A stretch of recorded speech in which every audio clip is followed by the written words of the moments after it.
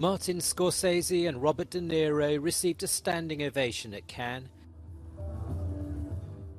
The American director returned to the French festival after a 37 year absence to present Out of Competition, his latest film, Killers of the Flower Moon, a western and adaptation of the bestseller by American writer David Grann. A rainy Saturday saw the presentation of two films in competition for the Palme d'Or. Banel and Adama, the debut feature by French-Senegalese director Ramata Toulaye Sy, sees Khady Mane and Mamadou Diallo star as lovers whose romance unfolds in a Senegalese village. And May-December, the new film by American director Todd Haynes, starring Natalie Portman and Julianne Moore. The film portrays the darker side of female sexuality with a protagonist who seduced a schoolboy and built a perfect life with him after a tabloid scandal.